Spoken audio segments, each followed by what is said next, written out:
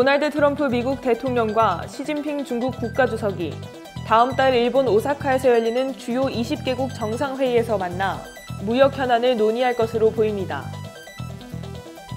불법 촬영물과 성매매 정보 등을 공유했다는 의혹이 제기된 이른바 언론인 단톡방을 내사 중인 경찰이 앞으로 정식 수사에 나섭니다. 한식 가운데 나트륨 1위는 탕이나 찌개류가 아닌 비빔밥인 것으로 조사됐습니다. 정부가 버스 노조 파업을 앞두고 시내버스 요금 인상이 필요하다는 입장을 내놨습니다.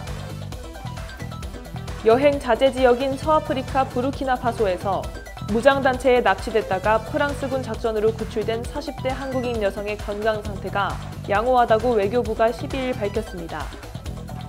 자세한 소식은 잠시 후 뉴스에서 전해드리겠습니다. 안녕하십니까. 신동아 방송 뉴스 엄현진입니다. 도널드 트럼프 미국 대통령과 시진핑 중국 국가주석이 다음 달 일본 오사카에서 열리는 주요 20개국 정상회의에서 만나 무역 현안을 논의할 것으로 보인다고 레리 커들로 백악관 국가경제위원장이 지난 12일에 밝혔습니다.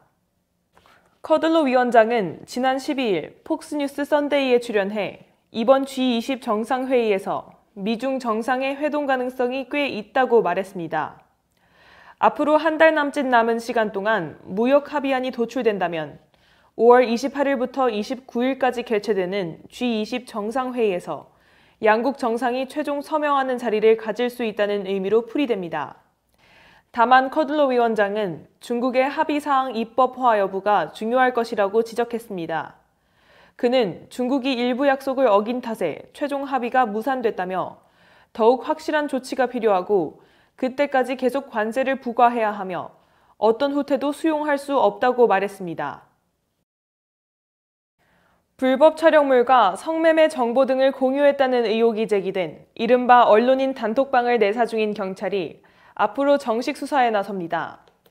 시민단체 디지털 성범죄 아웃이 기자, PD 등으로 구성된 익명 언론인 카카오톡 채팅방 참가자들을 지난 10일 정보통신망법 위반 혐의로 경찰에 고발한 지 이틀 만입니다. 기자, PD 등으로 구성된 이 채팅방에서는 이른바 버닝썬 동영상으로 알려진 불법 촬영물 등 각종 음란물이 공유된 것으로 알려졌습니다. 또한 성폭력 피해자의 신상 정보가 담긴 사설 정보지나 성매매 후기 등이 공유되기도 했습니다.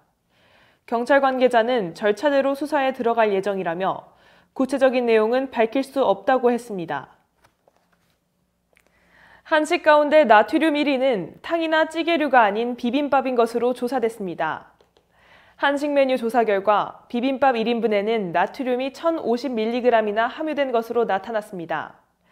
장류 가운데 나트륨 함량이 가장 높은 것은 간장으로 밝혀졌습니다. 지난 10일 경북대 식품영양학과 이현경 교수는 한식 대표 메뉴 중 1인분 기준으로 나트륨 함량이 가장 높은 음식은 1050mg의 나트륨이 든 비빔밥이라고 밝혔습니다.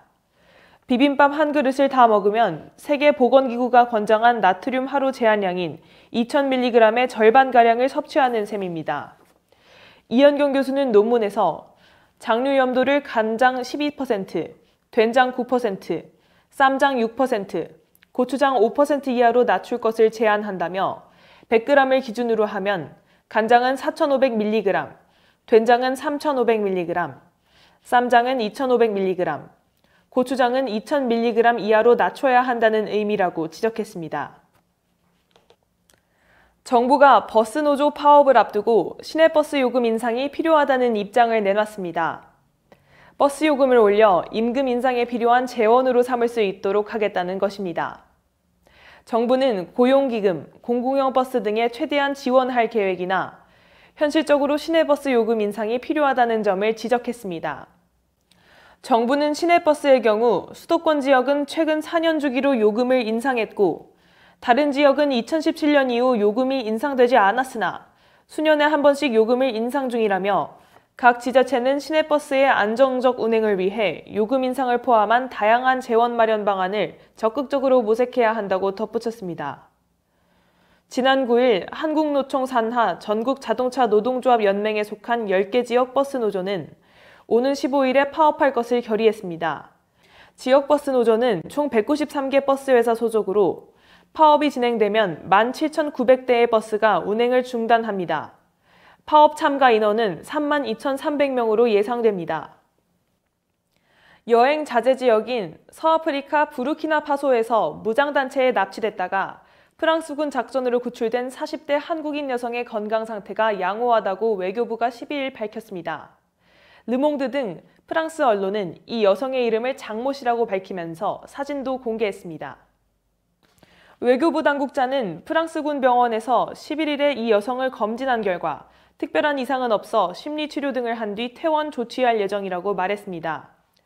외교부는 2015년까지 부르키나파소 전역을 철수 권고로 지정했으나 같은 해 6월 정세 완화로 북부 4개 주만 적색 경보를 유지했습니다. 이외 지역은 여행 자제인 황색 경보로 하향 조정했습니다.